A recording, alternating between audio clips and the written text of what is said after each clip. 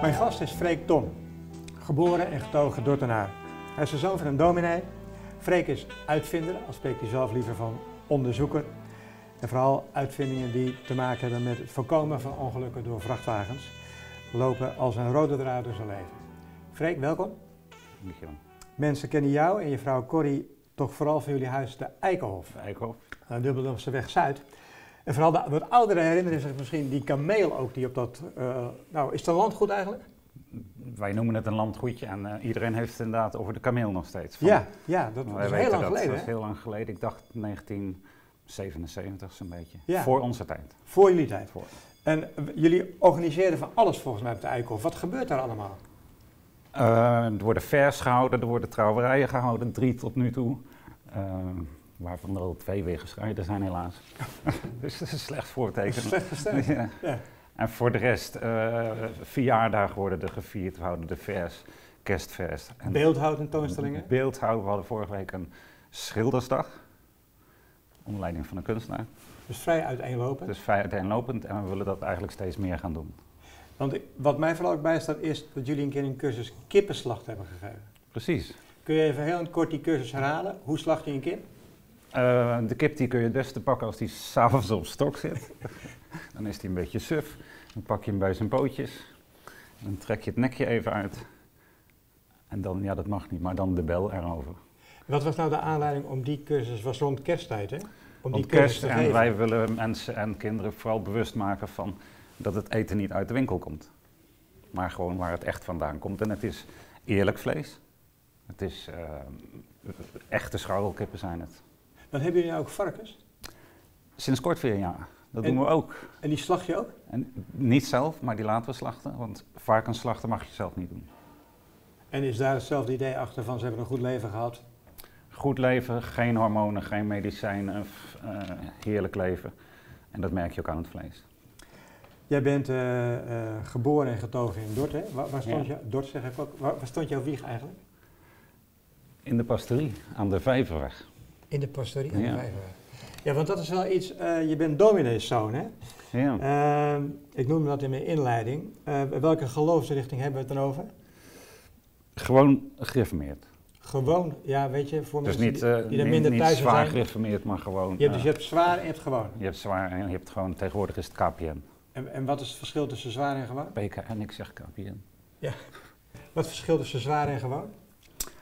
Ehm, bij zwaar, voor zover ik het weet, want ik weet eigenlijk ook niet alles natuurlijk, is dat je op zondag geen dingen mag doen, eh, niet mag sporten, geen ijsjes kopen. Dat mag jij soort- allemaal wel? Dat mag ik allemaal wel. Je mag ook voetbal kijken, bij wijze van spreken.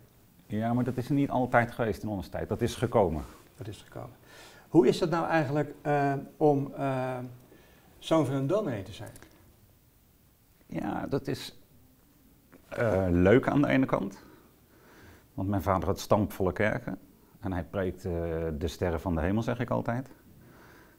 Dus dan zat je daar als kleine jongen en toen dacht je van, ja, die mensen die Je komen gaat er wel ook zo bij zitten, zie ik. eh, ja. de houding. Ja.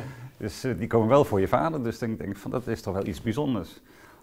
Maar in ons geval was dat niet altijd leuk. Want? Mijn vader had een, eh, die wet aanbeden op handen gedragen.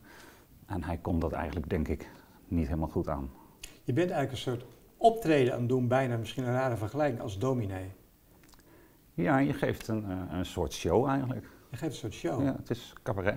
Dus is het, had jouw vader ook cabaret-achtige optredens? Nou, niet in de zin van humor echt, maar wel dat hij hele mooie zinnen wilde maken.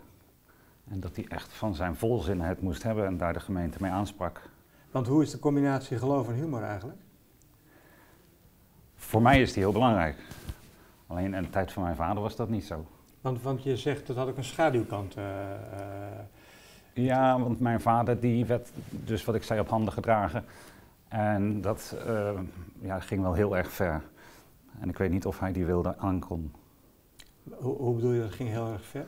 Nou, mijn vader eh, die vond het heel belangrijk dat mensen hem aanbaden. En wij als gezin hingen daar een beetje bij.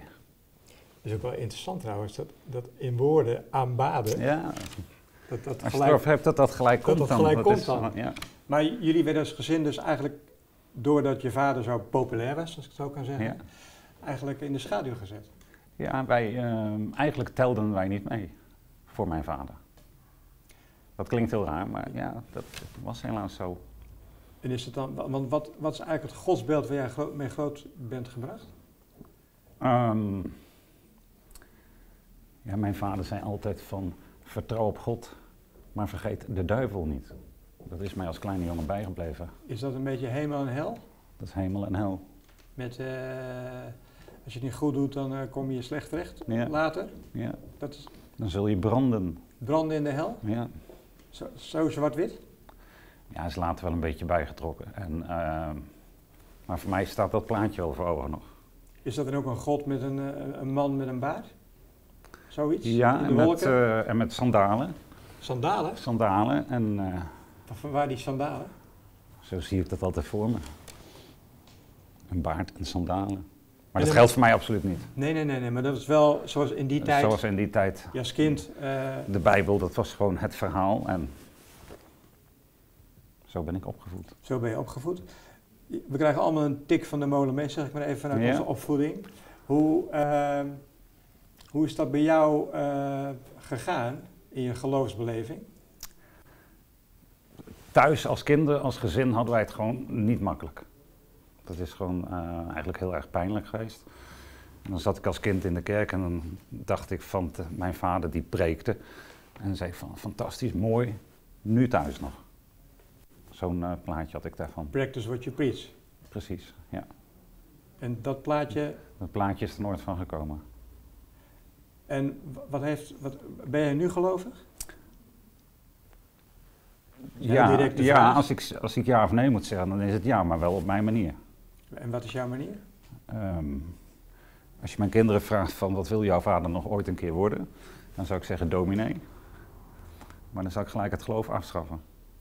Omdat ik vind dat geloven eh, moet je voor jezelf houden. Dus dat is eigenlijk iets wat binnenskamers gebeurt. Binnenskamers daar moet je ook niet mee te koop lopen. Dat je denkt van kijk mij nou, ik geloof. Want ja, wat heb ik eraan? Als er iets is, zeg ik altijd van een hogere macht, God of hoe dat ook heet. Ik weet het niet. Maar dan zou ik zeggen, is het niet veel belangrijker dat hij, of voor mij is het een zij, niet reden zou hebben om in ons te kunnen geloven. Dus je zou. eh, wat, wat soort preken zou jij houden? Humor vooral. Ja. En eh, niet te veel bidden, maar gewoon aan het werk gaan. Want met bidden krijg je echt geen waterputje uit de grond. Dus dat, is- dat zou mijn insteek zijn. Dus een actieve vorm van. Actieve vorm van, en als mensen zeggen van ik geloof niet, dan denk ik gelijk van eh, aan de omschrijving die Albert Schweitzer geeft. Die zegt geloven is een praktiserend respect voor het leven. En dan zeg ik, zeg dan maar dat je niet gelooft. Dat is eh, bijna een paradox, hè? Ja. Ja. Want jouw favoriete fragment, eh, waar we altijd naar vragen, wat is dat in Dordrecht, heeft ook wel met geloof te maken. In zekere zin. Wilhelminakerk. Wilhelminakerk.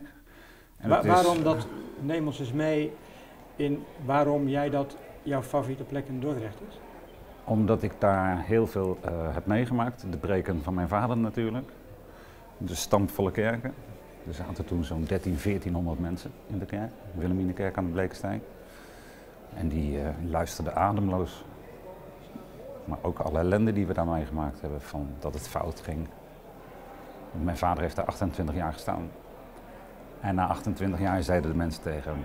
Marius, dat heb ik al gehoord. Ja, wat wil je na 28 jaar? Dus toen is het eh, ja, een beetje fout gegaan eigenlijk. Dus het is eigenlijk een plek eh, voor jou van lief en leed. Lief en Dat is leed. eigenlijk de associatie die je Ja. met die plek hebt. Ja. Niet zozeer het gebouw of... eh, Niet het gebouw, maar wat daar allemaal gebeurd is. Want, want je hebt me ook wel eens verteld dat eh, jouw vader ook wel wat problemen had in het eind van zijn loopbaan, zou je kunnen zeggen. Ja, heel zijn loopbaan eigenlijk wel. Alleen op het eind is dat eh, toch wel geëscaleerd. Ja. En dat heeft met drank te maken en dat is eh, behoorlijk fout gegaan. En op een gegeven moment ging het zo fout dat Corrie en ik naar de kerkraad zijn gestapt. Jij met je vrouw? om- ja? met mijn vrouw en om te zeggen van jongens, dit gaat dus echt niet. Dan moet ik altijd, is misschien een beetje flauw, water in wijn is veranderen is niet zo moeilijk, je hebt maar één druppel nodig. Ja. Maar dat ging helemaal, eh, zeg maar, bij jullie echt de verkeerde kant op. ging echt de verkeerde kant uit. En normaal is het in eh, eh, de kerk is het zo dat een ouderling of een diaken die bezoekt gezinnen. Alleen ja, bij een domineesgezin denken ze dat gaat daar zo perfect. Waarom zou je die bezoeken? hebt geen bezoek Die nodig. heeft geen bezoek nodig. Wat moeten we daar? Alleen ja, als er iemand hard bezoek nodig had, Dan was het jouw vader. was het mijn vader en mijn moeder. En hoe is dat dan afgelopen uiteindelijk? Ehm, pijnlijk. Ehm, op een gegeven moment is het uit de hand gelopen. Ik dacht als jongen altijd dat ik heel erg lang thuis moest blijven. Om te zorgen dat het een beetje in het gereel bleef. Maar het is uiteindelijk niet gelukt. Ik ben ook weggegaan. En toen is het, eh, op op een gegeven moment is het geëscaleerd. Ambulance in de straat, al die ellende. En mijn vader is opgenomen in het ziekenhuis. Er is hij behandeld voor een TS'je. En ik zat daar met mijn moeder op een bankje. Een TS'je? Tentamen suïcide. Ja, ik, ik zeg dat niet, Ja, ja. niet om interessant Nee, te doen, nee, maar ik zit met mijn moeder Ja. op de bankje te wachten. Ja. En ik zie bij die poli staan de heer Tom TS. Dus ja, dat zijn toch wel eh, heftige Heftig, dingen. Dus ik zeg tegen mijn moeder, joh, wat is er dan gebeurd? Ze zei, nou, er is helemaal niks gebeurd. Maar ik zit zo en ik heb er geen verstand van, maar ik zit naast mijn moeder en ik hoor iets. Ik denk, dit is, hier klopt iets niet. Dus ik zei tegen de internist, zou je ook even naar mijn moeder willen luisteren? Ik vertrouw het niet. Toen heeft hij geluisterd en toen zei hij van, ik hoor het crepiteren. Wist ik ook niet wat het was, maar dan komt er eh, lucht of zo bij de longen, ik weet het allemaal niet. Maar het zat niet goed. En toen is mijn moeder ook opgenomen en toen ben ik naar huis gereden, midden in de nacht. Ik denk toch even de lampjes uitdoen, maar dat was, eh, ja, toch wel een groot slagveld. Dus eigenlijk een, een tragisch einde van een mooie carrière, zou je kunnen zeggen. Ja, hij kon de wilde niet aan, denk ik. Nou is het zo dat eh, eh, er is dus ook- ook eens een keer een dag geweest voor domineeskinderen. Ja, georganiseerd door mijn grote voorbeeld Freek de Jonge. Freek de Jonge, want waarom is dat je grote voorbeeld? Omdat ik, eh, ja, humor en geloof, dat vind ik heel belangrijk. En ik merk aan iedereen dat dat geloof je toch niet loslaat. En ik merk dat bij hem ook. En, en zo'n dag, hoe zag dat eruit? Want dat is een dag voor echt domineeskinderen, hè? Jacobine Ja, Geel, Jacobine eh, Geel, Harmen Siese was er, Seth Gaikema en al zulke soort mensen. Hoe zag zo'n dag eruit? Dat was in de Nieuwe Kerk in Amsterdam en daar mocht iedereen zijn verhaal vertellen. Dat is al lang niet meer geloofden natuurlijk. Kijk naar de ellende om je heen en God kan niet bestaan. Nou, dat zijn voor mij dingen, dat, daar kan ik niet in meegaan. Als ze zeggen van ja, joh, er is zoveel oorlog op de, in de wereld. God kan niet bestaan. Nou, ik wil je een fragment voorhouden. Ik heb ooit Jacobine Geel, dat is ook een domineeskind, geïnterviewd. eh, samen met Wim Huizer. En eh, die zei dit. Je moet gewoon hier zijn. Dit is wat er is. En meer is er niet. Meer hemel op aarde weet ik niet of er bestaat. Van de hemel heb ik helemaal geen voorstelling. Dat vind ik wel zo prettig. Wat vind jij van zo'n citaat? Ja, heel mooi eigenlijk. Want ik weet ook niet wat de hemel is. En als er geen hemel is, ja, kan ik er ook niks aan doen. Nee, stel je Ik voor. Stel je voor. Ja. Stel je voor. Eh, laten we even dit onderwerp afronden met eh, jouw favoriete fragment. Waar gaan we naar kijken? We gaan kijken naar een stukje van ehm, Herman Vinkers. Die zit bij Paul Witteman aan tafel. En die heeft het eh, na zeven jaar na de pauze, waarvan hij zegt de pauze is wel een beetje lang geworden, ehm, heeft hij het als altijd over zijn geloof. En dat met humor en zo, dat vind ik gewoon heel erg leuk. Gaan we een stukje naar kijken. Dus in 2007, Pauw en Witteman, toen nog samen. We vallen er ergens Met in, eh, Job Cohen met Job Cohen aan tafel als gast. We vallen erin nadat hij vertelt dat, dat hij niks met voetbal heeft.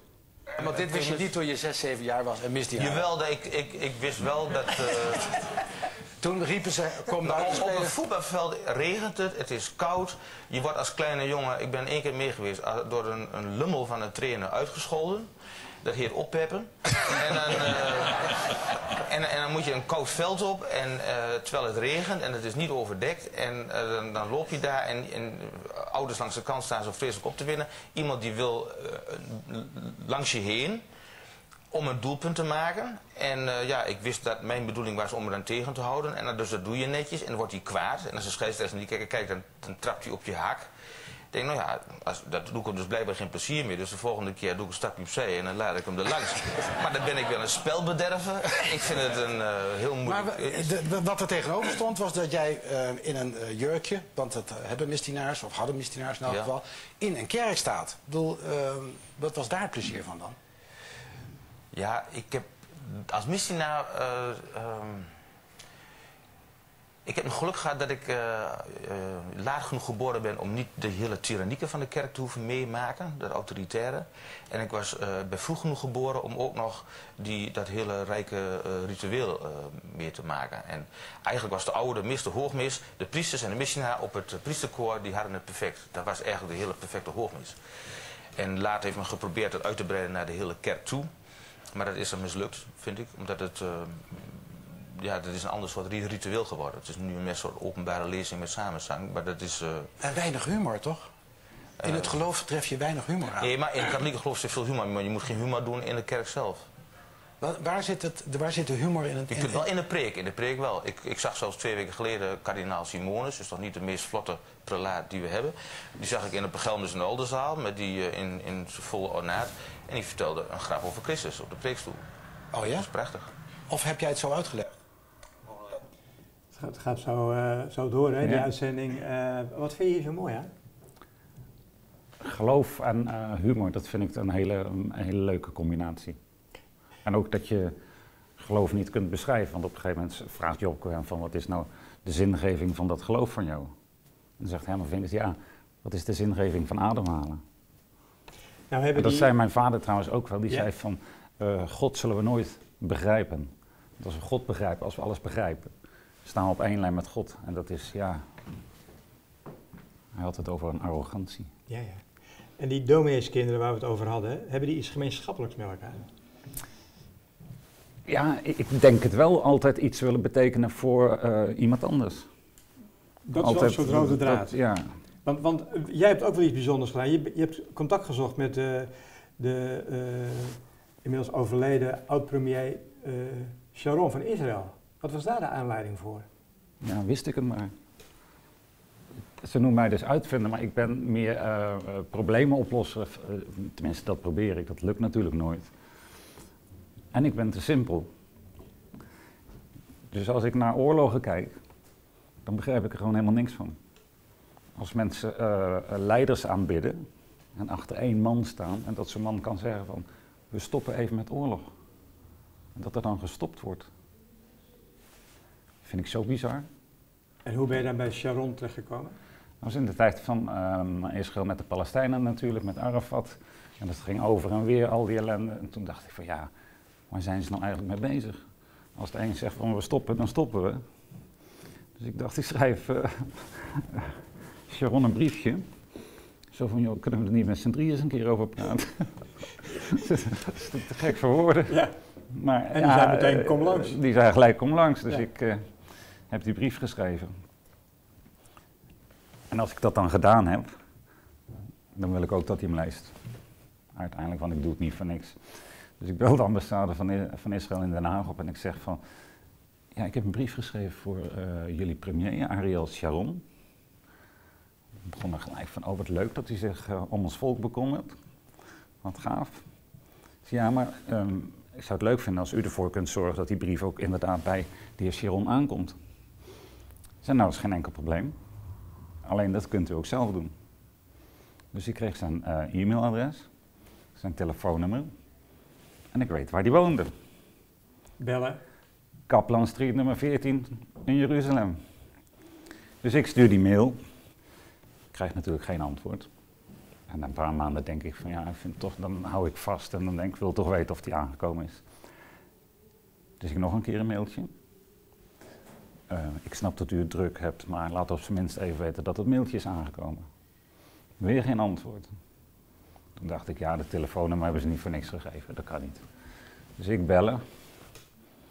En ik krijg daar Marit Danon aan de telefoon. En ik in mijn gebroken Engels, na twee tellen zegt ze van ja, maar je kunt ook gewoon Nederlands praten. Dus ik denk, nou, heeft ook zo moeten zijn, toch? Dus ik zei nog van, uh, ziet u de heer Sharon wel eens? Ze zei, nou ik dacht wel, ik ben, ik ben zijn persoonlijke secretaresse, dus ik zie hem uh, ja, dag en nacht. En ze zei van, ik, heb een uh, mail gestuurd, ja die heeft hij gelezen en hij vond het heel erg mooi. En als hij het wat minder druk heeft, komt hij daar zeker op terug. En toen is hij in coma geraakt. Gelukkig. Maar goed, zeg maar iets over jouw uh, praktisch idealisme zou je kunnen zeggen. Ja, en dat is niet altijd leuk, want je bent altijd bezig. Je, je ziet problemen en je denkt, wat, wat moet ik daarmee? Want uh, we maken de overstap naar uh, dat, dat vasthoudende. Heb je eigenlijk ook, want ik noemde jou uitvinder, je zegt zelf onderzoeker. wij zijn beide zelfstandigen zonder pensioen, hè? zoals dat zo afgekort wordt. Ja. wat is het verhaal van Lex?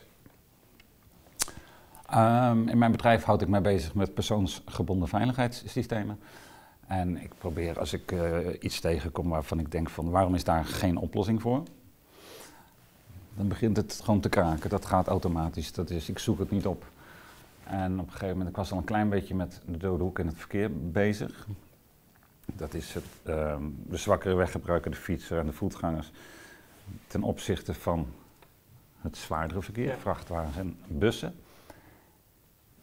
was ik zomaar een beetje mee bezig. En op een gegeven moment, op een vrijdagochtend, het was een prachtige dag, groet ik onze buurmeisjes, Annemarie en Marlies. En ik zeg, oh, fijne dag vandaag, het leven is mooi. Alleen zij gingen naar de begrafenis van Lex. En Lex was een, is een Dordtse jongen die op 19 jaar leeftijd om het leven is gekomen. Op zijn eerste studiedag in Maastricht.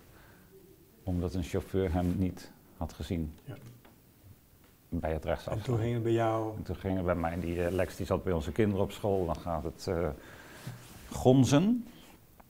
En toen dacht ik, ja, waarom is hier niks aan te doen? Toen heb je iets uitgevonden waarmee je zelf... Toen heb ik iets uitgevonden, ik heb alles onderzocht, onder welke omstandigheden die ongelukken gebeuren. Um, ik denk, daar moet een systeem op te maken zijn. Heb je ook gedaan? Heb ik gedaan, 2003. En in 2004 was ik... Uh, ben ik uitgenodigd om mee te doen aan de IDNL jaarprijs. Een uitvindersprijs. 16 november uh, waren de genomineerden uit 3000. Er waren er 30 over. Toen kwam Ferdinand uh, nog langs, Ferdinand van den Hoeven. Die zei van nou, of jij nou morgen wint of zo de prijs, dat maakt niet uit. Dit vinden we al zo mooi. Dus ik denk, nou leuk, genomineerd. Toen kwam de grote dag, 17 november, en een zaal met 300 mensen. Dat was eerst de Telegraaf Lezersprijs. En ik zat naast de ouders van Lex in de zaal. En die ging naar, naar Lex. Dus ik met knikkende knieën dat podium op. Grote bos bloemen. Van Daalmeijer, geloof ik dat hij heet.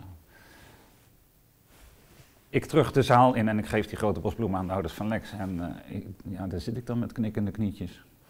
En onze zoon Thomas zei van, en dat is wel mijn vader. Zo ontroerd was hij. Maar ik zat nog niet. Toen kwam Karin van Gennep met de echte hoofdprijs. En toen kon ik weer terug. Won je ook? Won ik ook. En zit je in 2004, hè? Tenminste, ik. Lex, zeg nee, ik altijd. Lex. Je zit in 2004. 2004. ga even sprong in de tijd maken, hè? Want dat is op de een of andere manier misgegaan met hoe die uitvinding uiteindelijk van jou uh, is toegepast. Ja. we zitten nu in 2016 en je bent er nog steeds mee bezig. Ja, want uh, het is allemaal niet leuk gegaan. Uh, dat concept is uh, verkocht aan een partij destijds. En dan maak je afspraak met overeenkomsten van dat iedereen zich allemaal fout gegaan, advocaten, ellende. Ja. Toen dacht ik van ja, ik stop ermee. Ja. Want je kunt wel twee jaar nog misschien zeggen van dat systeem komt, maar na tien twaalf jaar, verder. twaalf jaar verder. Hoe is het nu? Nou, ik was gestopt en toen dacht ik van ja, weet je, um, die oplossing is nog veel eenvoudiger dan iedereen ooit gedacht heeft.